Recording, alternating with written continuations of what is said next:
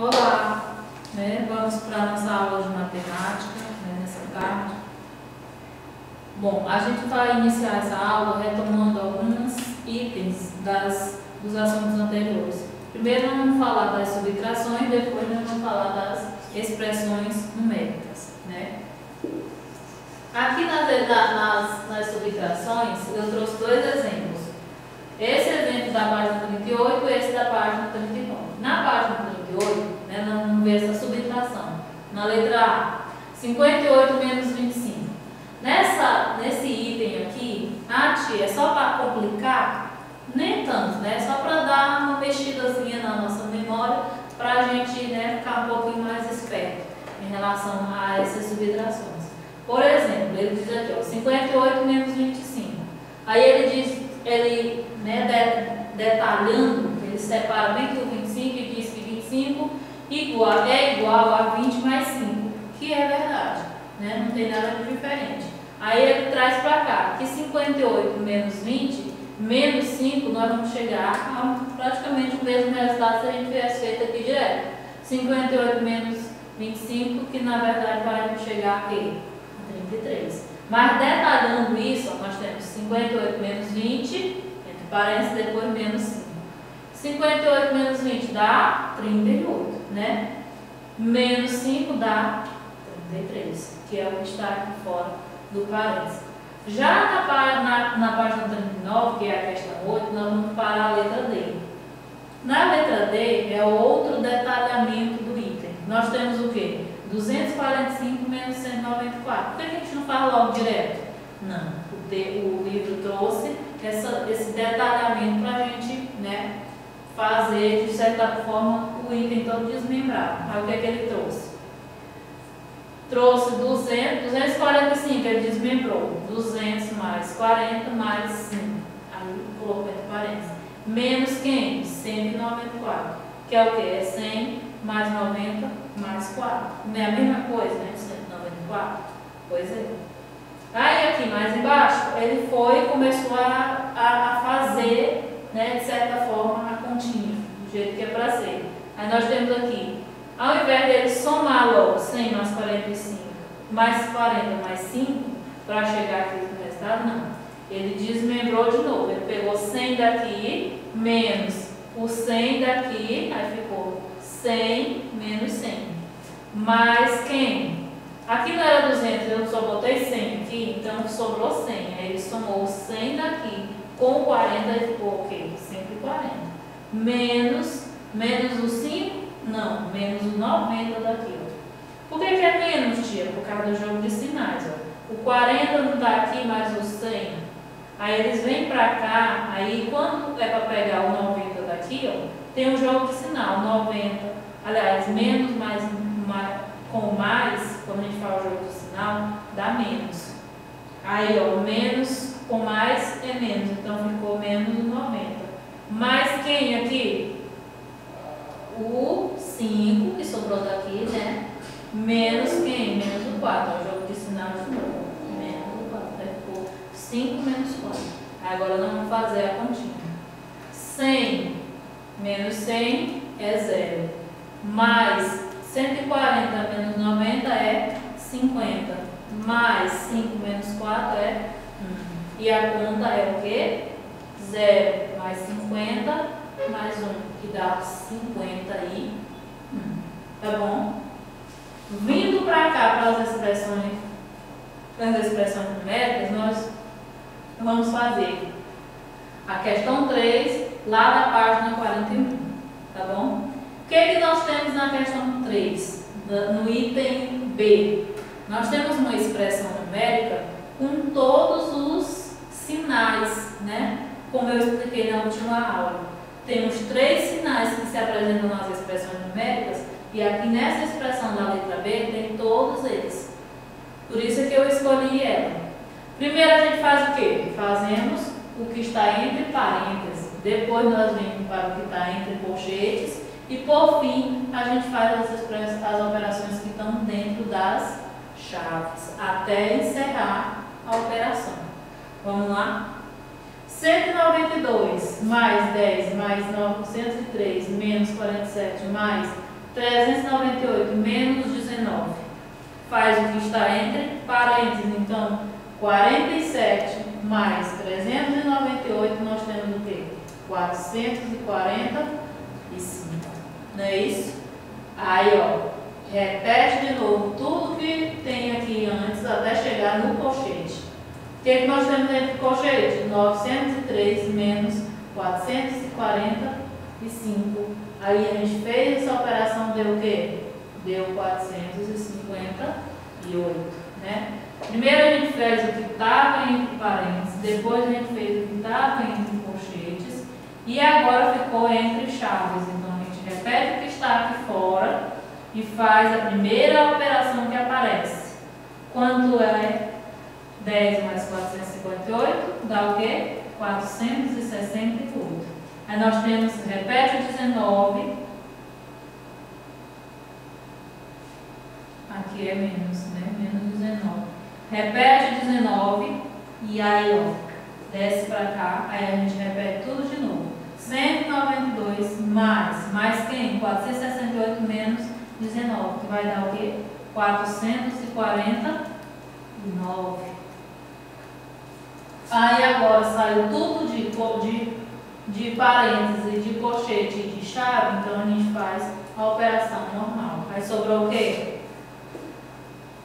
Sobrou 192 mais 449, que deu o quê? 641, tá bom? Não é complicado, é só vocês seguirem o passo a passo. Primeiro faz os parênteses, depois faz os colchetes, depois faz a chave. E aí, quando eliminar todos esses sinais, é só fazer a operação normal. Tá bom? Aí agora, depois que a gente falou, fez essa retrozinha aí, tanto em relação às subtrações quanto em relação às expressões numéricas, a gente vai falar de multiplicação.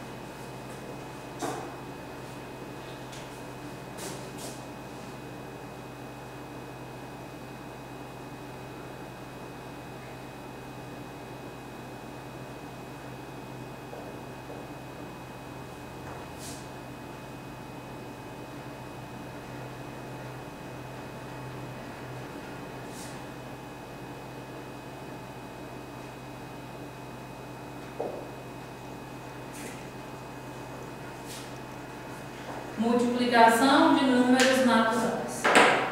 Lá no livro de vocês, página 42, o que, que ele diz?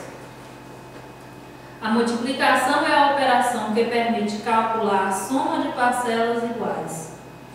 Por exemplo, Dona Lúcia organizou na bandeja sete fileiras de brigadeiros. Em cada fileira temos nove brigadeiros. Quantos brigadeiros há no total? Né? Ela fez o quê? Ela fez uma fileira de nove brigadeiros. Um, dois, três, quatro, cinco, seis, sete, oito, nove. Em sete fileiras. Uma, duas, três, quatro, cinco, seis, sete. É como se aqui, ó, tivesse tudo cheio de brigadeiro.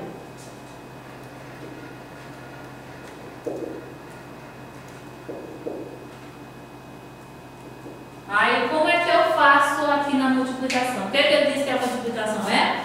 É a operação que permite calcular a soma de parcelas iguais. Como assim a soma de parcelas iguais? Nós temos sete fileiras com nove brigadeiros. Então, é a soma de parcelas iguais.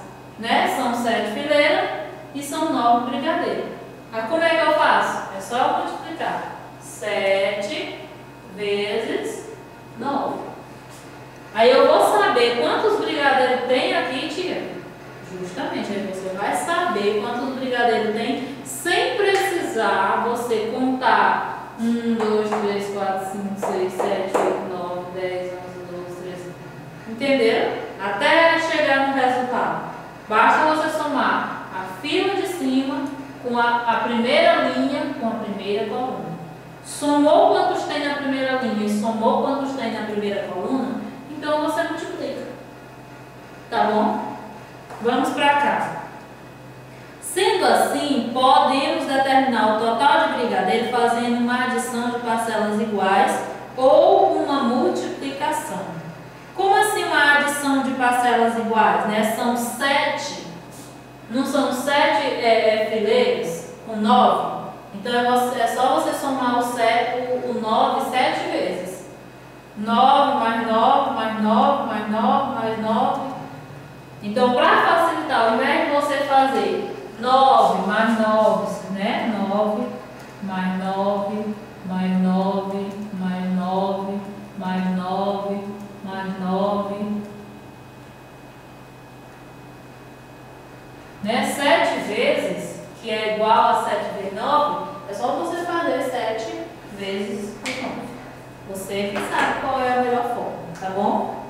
Aí no livro tem alguns exemplos, né, dessas, de, dessa, desse exemplo que ele deu em relação aos brigadeiros. Aí pode ser tanto 9 vezes 7 quanto 9, 7 vezes 9. A ordem da parcela aí não vai alterar o produto, nesse caso? Não irá alterar, alterar o produto. A multiplicação não é somente a ideia de adicionar parcelas iguais ou disposições retangulares. Podemos calcular o número de, de combinações da seguinte forma. Aí é mais um exemplo que ele vai citar. Uma lanchonete está fazendo a seguinte promoção na compra de hambúrguer ou cheeseburger. Você tem mais um adicional de queijo grátis.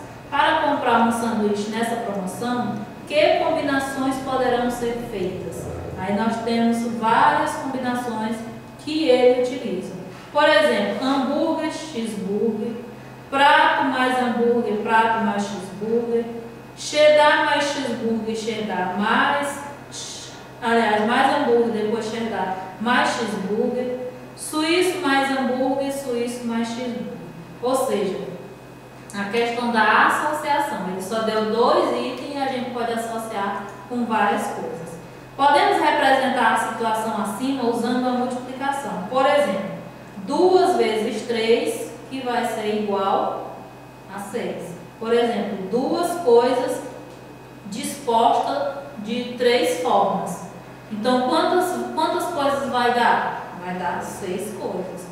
Né? Ele só me deu duas opções e eu consegui dispor ela em três formas. Aí, na hora que eu multipliquei duas vezes três, deu o quê? Deu seis. Assim como as demais operações, a, a nomenclatura de uma multiplicação tem seus termos específicos. Como assim termos?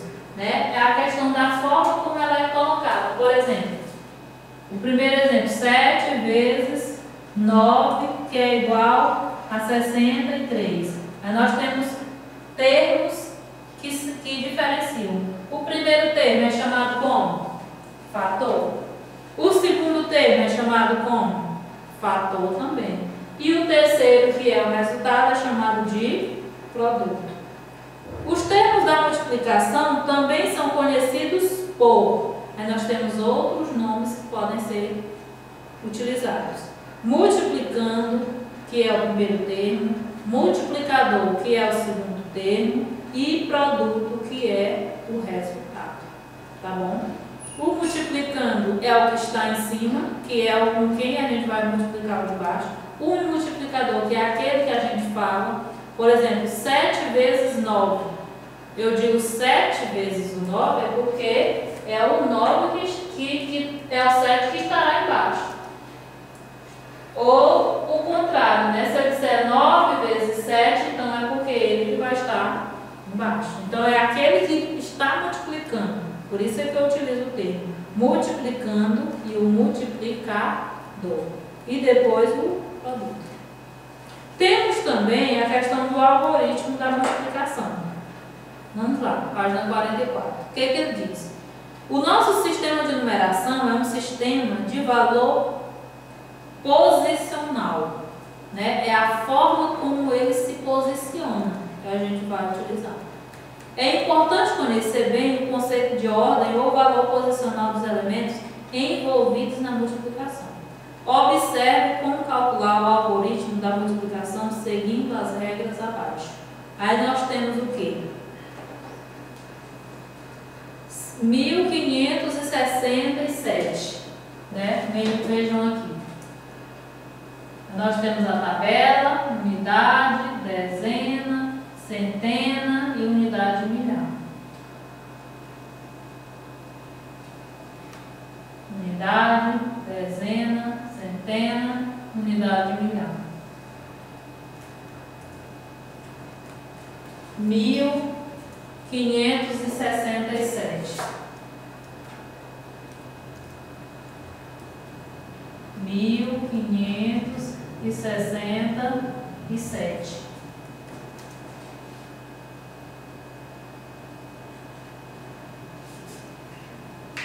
O que, que ele diz assim?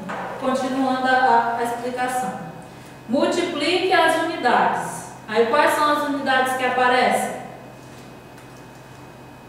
Aparece a multiplicação entre o 4, porque aqui é 1567 vezes 4. Então, quais são as unidades que aparecem? O 7 e o 4. Aí ele diz: temos duas dezenas e oito unidades. Observam, observação, em cada casa só poderá ficar um algarismo. Então, o número 8 fica na casa das unidades e o número 2 vai para a casa das dezenas. Não entendi, tia. É aqui, ó. Quando eu digo 4 vezes 7, vai dar qual é o resultado? 28. Então, o 8 vai ficar aqui e o 2 vai vir para cá. Tá bom? Aí lá embaixo, o que é que ele Multiplique as dezenas. Então agora eu vou multiplicar o 4 pelas dezenas. Quanto é 4 vezes 6? Vai dar 24. Aí tem um 2 aqui. Então eu tenho que somar com ele, que dá 26. Aí o 6 vai ficar nas dezenas e eu vou levar o 2 aqui para as centenas. Observe aí ó, o que ele diz. 6 vezes 4 é igual a 24. 24 mais reserva é igual a 24 mais 2, que é igual a 26, que é o que a gente acabou de fazer. Temos duas centenas e seis dezenas. Observação: em cada casa só pode ficar um algarismo. Então, o número 6 fica na casa das dezenas e o número 2 vai para a casa das centenas. Reserva novamente. Agora nós vamos multiplicar as centenas. Então é 4 vezes 5, que vai dar 20. Com o 2, vai dar 22. Então faz o mesmo procedimento, né? Nós estamos multiplicando as centenas. Nós multiplicamos 4 vezes 5, que deu 20. Então com o 2 dá 22. Então nós temos 22 centenas. Mas só pode ficar um número em cada casa. Então aqui fica 2 e o outro 2 vai lá para as unidades de milhar. Agora multiplique a unidade de milhar. Então 4 vezes 1 vai dar 4, com o 2 que tinha que dar 6. Então quanto foi que a gente restou? 6.268. Então, em uma multiplicação com algarismos, no segundo fator, calculamos da seguinte forma.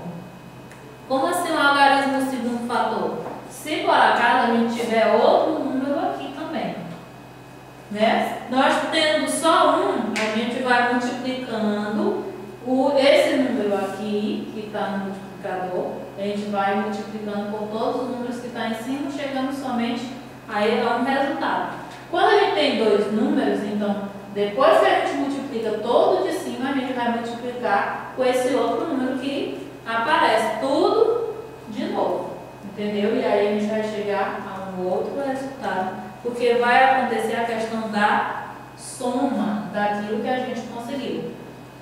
Então a gente já está em 6.260 108. Então, vamos, para, vamos continuar a nossa multiplicação. Agora, nós temos 2 vezes 7. Apaga tudo que está aqui em cima, para não confundir.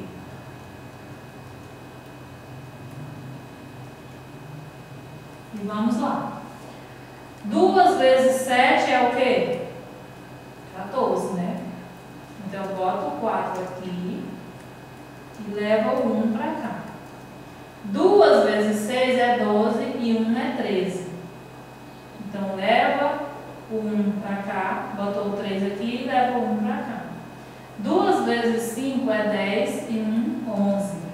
Bota o 1 aqui e leva o outro 1 para cá. 2 vezes 1 é 2 com 1, 3. Então, qual foi o resultado? 3.134. E agora, tia? O que, que a gente faz? A gente não pode ter um resultado dessa forma, com dois resultados. Aí a gente soma. 8, aqui não tem nada. Observação, na hora de multiplicar a segunda parcela, a gente coloca esses sinaizinhos aqui para não confundir, para não ser colocado a outra parcela aqui embaixo. E aí a gente procede. O 8 desce, que não tem com quem somar. O 6 mais o 4 dá 10. Para cá vai 1. O 1 e 2 dá 3 com 3, 6. O 6 mais 1 é 7. E o 3 não tem com quem somar, baixa também. Então nós temos o quê? 37.608, que é o nosso resultado. Né? Aí, se vocês observarem essas questões mais adiante, vocês vão ver que vamos ter uma multiplicação com três números. E assim posteriormente. Né? Só não pode é passar o número daqui maior do que o que está em cima. E também o número de baixo também normalmente deve ser menor do que o número que está em cima. Entenderam? Continuando aqui, a gente vai falar da questão das propriedades da multiplicação. Né? Nós tivemos, além da a questão da, da adição, da subtração, tivemos as propriedades da, da, adição e agora nós vamos falar das propriedades da multiplicação. A multiplicação, né? retomando aqui a leitura do texto, a multiplicação é uma operação matemática básica que apresenta propriedades que podem facilitar o trabalho de, de, o trabalho de multiplicar dois ou mais números. Observe algumas situações em que essas propriedades são aplicadas. A primeira situação, né, que é a situação 1, os alunos foram organizados no pátio do colégio, nove fileiras com dez alunos, cada. Quantos alunos estavam no pátio do colégio? É aquele mesmo procedimento. Ou a gente soma 9, 10 vezes, ou a gente multiplica 9 vezes 10. No caso, vai dar 90. Ao trocar a ordem dos fatores, os resultados se alteram. Tanto 9 vezes 10 como 10 vezes 9. Não vai ser o mesmo resultado? Não houve alteração, pois a mudança na ordem dos fatores não altera o produto. Essa propriedade da multiplicação é chamada de comutativa. Né? Se eu troco, bem aqui, 9 vezes 10, ou 10 vezes 9, tanto faz, não irá mudar o resultado. Então, essa propriedade é chamada de comutativa. A ordem dos fatores não altera o produto. Na situação 2, observe o que, o que a professora escreveu na lousa. Né? Observe essa lousa que tem no livro de vocês. Propriedades da multiplicação. 1 vezes 2 é igual a 2. 15 vezes 1 é igual a 15. 139 vezes 1 é igual a 139. Essa propriedade garante que existe um número que, ao ser multiplicado por qualquer outro número, resulta esse, esse outro número. Ou seja, qualquer número multiplicado pelo 1 vai ser sempre esse mesmo número. 2 vezes 1 é 2, 15 vezes 1 é 15, 240 vezes 1 é 240. Né? Isso, esse número é o 1.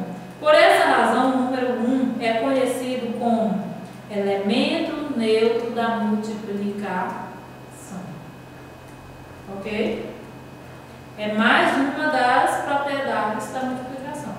Nós vimos a comutativa e depois vimos o elemento neutro.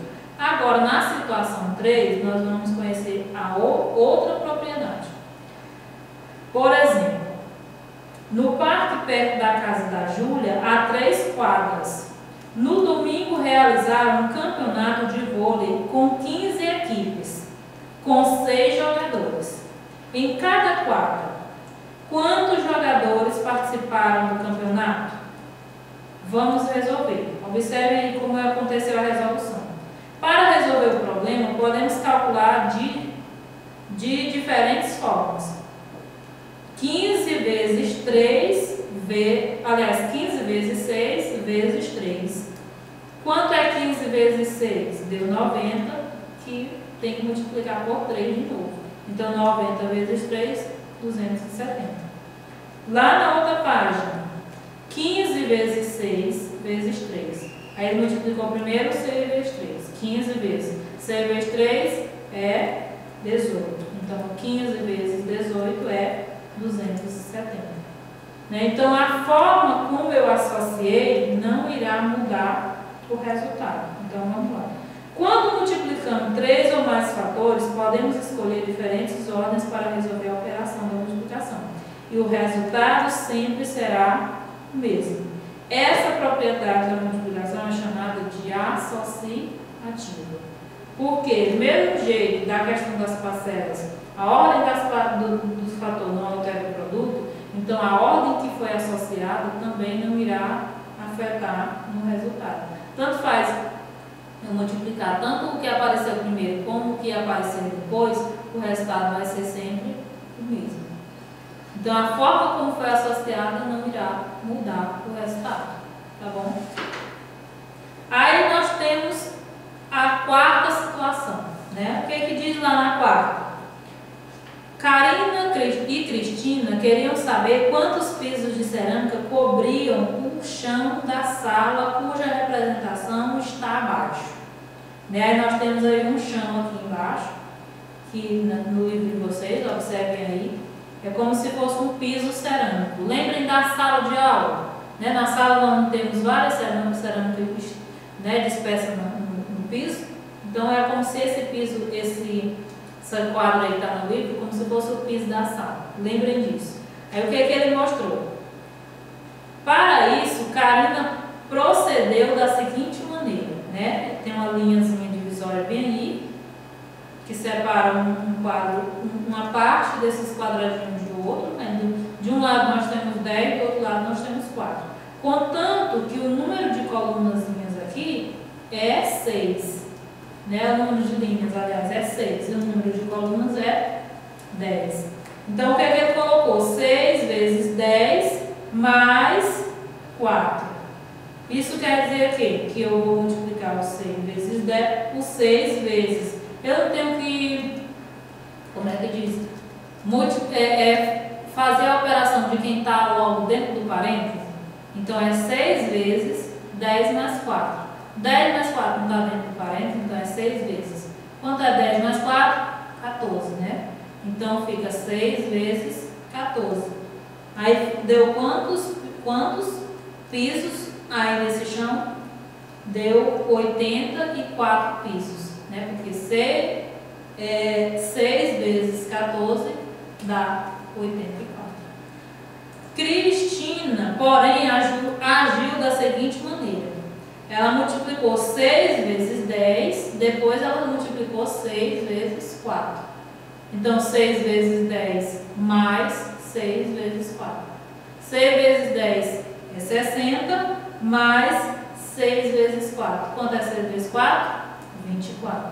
E quanto é 60 mais 24? 84. Não deu a mesma coisa? Então, Agora responda. Mesmo utilizando métodos de resolução diferentes, Karina e Cristina acharam a mesma quantidade de pisos? Será que elas acharam? De acordo com a resposta que você deu e usando os sinais iguais ou diferentes, complete. Aí tem aí uma, né, uma, uma operaçãozinha para vocês observarem se 6 vezes 10 mais 4 é igual a 6 vezes 10 mais 6 vezes 4. Como a gente já viu a operação lá em cima, a gente percebeu que sim,